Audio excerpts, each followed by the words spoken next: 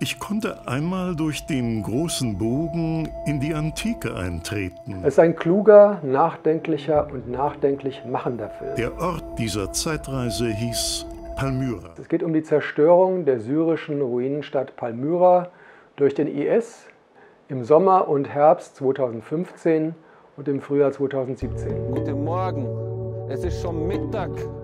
Es ist schon Mittag. Der islamische Staat ist schon längst Realität geworden. Auf was wartet ihr denn noch? Auf was wartet ihr denn noch?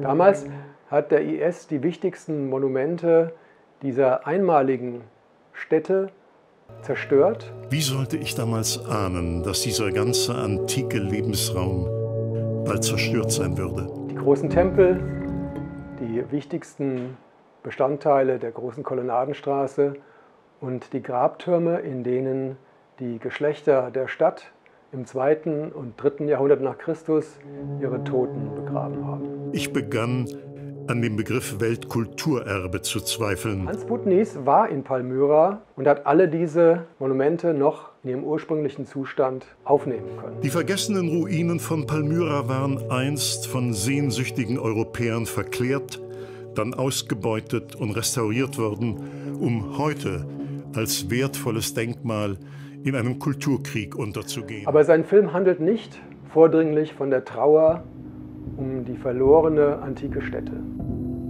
Ich möchte in diesem Film ein unwiederbringliches Bild von Palmyra überliefern. Eines, das die Antike nicht von der Gegenwart der realen Menschen isoliert, die von ihr lebten und die sie als ihre Heimat liebten. Und er zeigt, wie, zumindest im Jahr 2008, der syrische Alltag an dieser hochtouristischen Stelle aussah.